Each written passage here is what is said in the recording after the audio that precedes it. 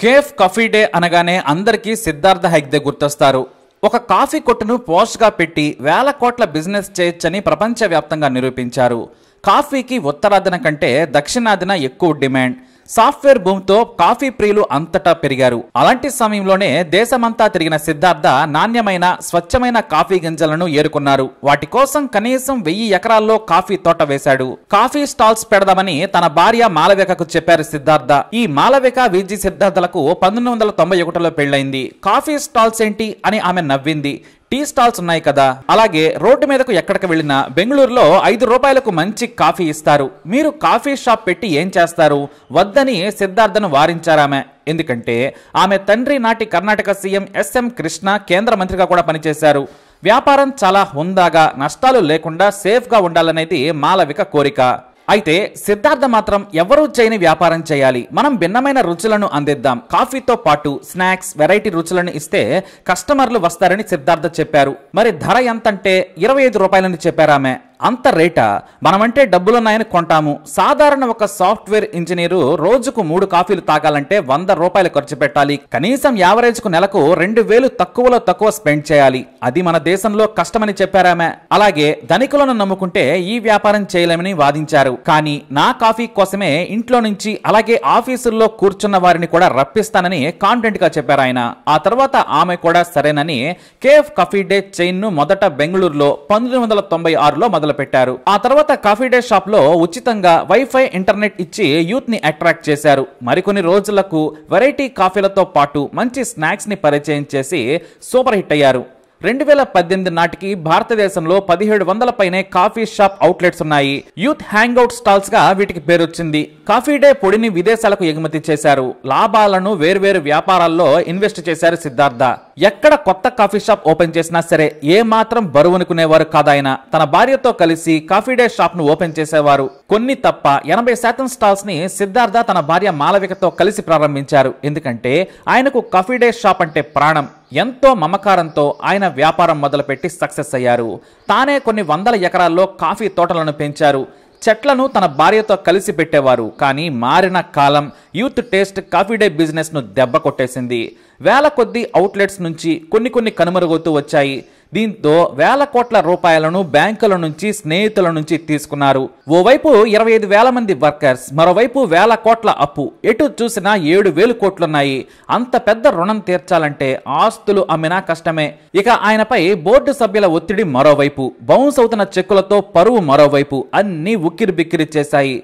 July ఇరవై తొమ్మిది రెండు వేల పంతొమ్మిదిన తన భార్య పిల్లలతో కలిసి ఇంట్లో కాఫీ తాగారాయన కాస్త బ్రేక్ఫాస్ట్ చేసి అందరితో సంతోషంగా మాట్లాడి బెంగళూరు నుంచి సకలేష్పూర్ వెళుతున్నాను రాత్రి వరకు వస్తానని భార్య మాళవిక హెగ్దేకు చెప్పారు సిద్ధార్థ.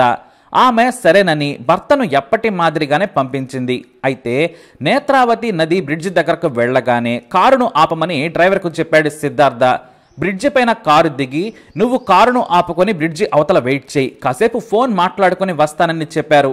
సరేనని డ్రైవర్ వెళ్ళి బ్రిడ్జి అవతల కారును ఆపుకొని తమ బాస్ కోసం వెయిట్ చేస్తున్నాడు ఆ డ్రైవర్. దాదాపు గంట సేపు ఎదురు చూసిన సిద్ధార్థ రాకపోవడంతో ఫోన్ చేశాడు డ్రైవర్. స్విచ్ ఆఫ్ అని రావడంతో కంగారు పడి బ్రిడ్జి మీదకు వచ్చి వెతికాడు. నదిలోకి తొంగి చూశాడు. ఎక్కడా సిద్ధార్థ కనిపించలేదు. మళ్ళీ మళ్ళీ ఫోన్ చేసినా స్విచ్ ఆఫ్ అని వచ్చింది. వెంటనే సిద్ధార్థ భార్య మాళవికకు ఫోన్ చేసి విషయం చెప్పాడు డ్రైవర్. దీంతో ఆమె తన కుటుంబ సభ్యులతో కలిసి ఆ ప్రాంతానికి చేరుకుంది. సిద్ధార్థ క్లోజ్ ఫ్రెండ్స్కు కాల్ చేసినా ఫలితం లేకుండా పోయింది. దీంతో వెంటనే పోలీసులకు ఫిర్యాదు చేయగా ఫోన్ సిగ్నల్ను ట్రాక్ చేయగా బ్రిడ్జ్ దగ్గరే చూపించింది. ఆత్మహత్య చేసుకుని ఉంటాడని భావించేశారు. అప్పుడే cafe coffee day owner V G Siddhartha ఆత్మహత్య చేసుకున్నాడనే వార్త దేశవ్యాప్తంగా సంచలనం సృష్టించింది. ఆ మరునాడే కాఫీ డే కంపెనీపై ఏడు వేల మూడు వందల కోట్లు అప్పులున్నాయని అందుకే ఆత్మహత్య చేసుకున్నాడు అనే వార్త వ్యాపార వర్గాల్లో కలకలం రేపింది. మూడవ రోజు ఉదయం ఏడు గంటలకు సిద్ధార్థ మృతదేహం నదిలో దొరికింది. ఈ ఘటనతో కాఫీ డే చైన్ వాల్యూ పడిపోయింది. ఇరవై ఐదు వేల మంది సిబ్బంది రోడ్డున పడ్డారు. ఇక మొత్తం ముగిసినట్లే అనుకున్నారు. సిద్ధార్థ చనిపోయిన నెల రోజులకే సీఈఓగా బాధ్యతలు చేపట్టారు సిద్ధార్థ భార్య మాళవిక హెగ్దే. తనకు భర్త అంటే ప్రాణం. ఆ భర్తకేమో కఫీడే వ్యాపారం అంటే పిచ్చి. అలాంటి సామ్రాజ్యం కూలిపోతుందనే ఆలోచన తట్టుకోలేక ఆయన ఆత్మహత్య చేసుకున్నారు. దీంతో తనకు ప్రాణమైన భర్త కలను నిలబెట్టాలి. ఇరవై ఐదు వేల మంది సిబ్బంది జీవితాలను దారిలో పెట్టాలనుకున్నారు మాళవిక. అప్పటి వరకు ఆమె బోర్డు మెంబర్గానే ఉన్నారు. వ్యాపారం గురించి తెలుసు లాభాలు చూశారు కానీ నష్టాలను చూసి అప్పులను చూసి మాళవికకు మత్తి పోయింది. తన పిల్లలైన అమర్త్య ఇషాన్ హెగ్దేలను వ్యాపారంలోకి రమ్మని చెప్పారు. ధైర్యం చేసి కొడుకులతో కలిసి వ్యాపారాన్ని ముందుకు తీసుకెళ్ళాలనుకున్నారు ఆమె. అంతేకాని చేతులెత్తేయాలి అనుకోలేదు. ఏడు వేల కోట్ల పైనే అప్పులు ఆమె స్థానంలో ఉండి బ్యాంకులను ముంచి విదేశాలకు పారిపోతున్న విజయ్ మాల్యా నీరవ్ మోడీలను చెప్పుతో కొట్టేలా ధీర వనితల నిలబడ్డారు మాలవిక.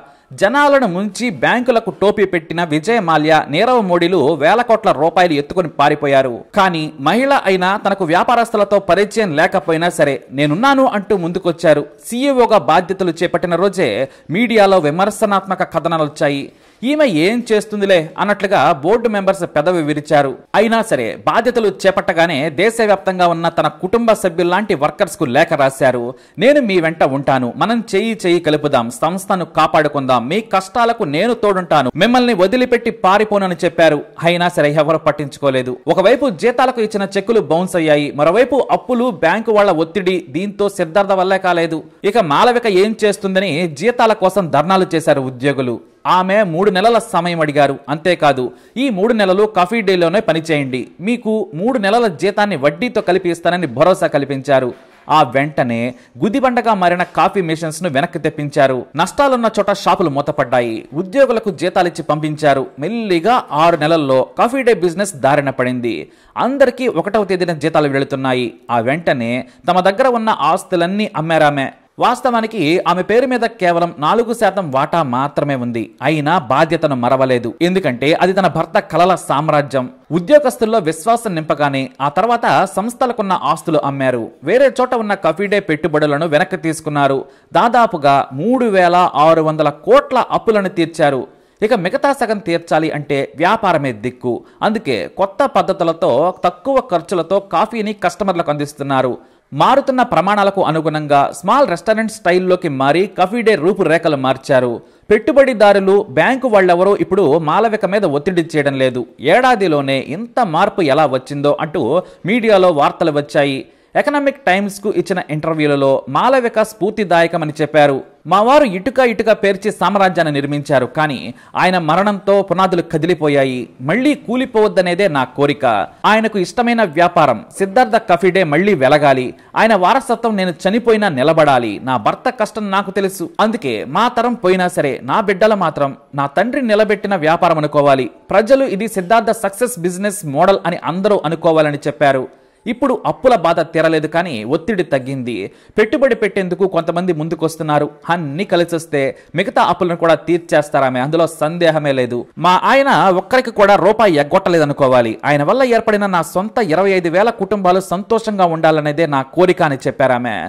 తన భర్త పేరు నిలబెట్టేందుకు ఆమె ఎంతో సంతోషపడ్డారు. ఎక్కడ తన విజయమని మాలవిక గర్వపడలేదు. ఎందుకంటే విజయ తీరం చేరాల్సింది ఇంకా ఉంది కాబట్టి. టాటా కంపెనీ ఇప్పుడు కేఫ్ కాఫీ డేలో పెట్టుబడి పెట్టేందుకు సిద్ధం సిద్ధమైంది అలా కష్టాలన్నీ చెరిగి ఎగిరిపోతున్నాయి. పుట్టకతో ధనవంతురాలు మాలవిక నాటి మంత్రి కూతురుగా బంగారు పళ్ళెంలో పెరిగారామె భర్త కూడా వ్యాపారవేత్త. పెళ్ళయ్యాక పంతొమ్మిది వందల తొంభై ఆరులో కాఫీ డే వ్యాపారం మొదలుపెట్టారు. ప్రపంచవ్యాప్తంగా ఆయన విజయం స్ఫూర్తిగా నిలిచింది. కానీ అప్పులతో కూలిపోయే దశకు చేరుకుంది. ఒక్కసారిగా వేల కోట్ల అప్పులకు వారసురాలైంది. అయినా సరే భయపడలేదు. అప్పులను వదిలేసి భర్తకు చెడ్డ పేరు తెచ్చేందుకు ఆమె సాహసించలేదు. రూపాయి రూపాయి దాచి సంస్థను నిలబెట్టారు. అందుకే మనసుంటే మార్గం ఉంటుందని మాళవిక స్ఫూర్తిగా నిలిచారు. అప్పులు చేసి బ్యాంకులను ముంచే వ్యాపారవేత్తల లిస్టులో సిద్ధార్థను చేర్చకుండా జాగ్రత్త పడ్డారామె. ఇప్పుడు దేశవ్యాప్తంగా మాళవిక సక్సెస్ స్టోరీ వైరల్గా మారింది. సన్ ఆఫ్ సత్యమూర్తి సినిమానే. కానీ ఇక్కడ వైఫ్ ఆఫ్ సిద్ధార్థ బ్యాంకులను ముంచిన విజయ్ మాల్యా నీరవ్ మోడీలు మాళవిక పాద ధూళికి కూడా సరిపోరంటూ పొగుడుతూ ఉన్నారు. మరి ఆమె మరిన్ని విజయాలు సాధించాలని మనస్ఫూర్తిగా కోరుకుందాం. మీ అభిప్రాయాన్ని కూడా కమెంట్ ద్వారా తెలియజేయండి అలాగే ఈ లైక్ చేయండి షేర్ చేయండి మా ఛానల్ని సబ్స్క్రైబ్ చేసుకోండి.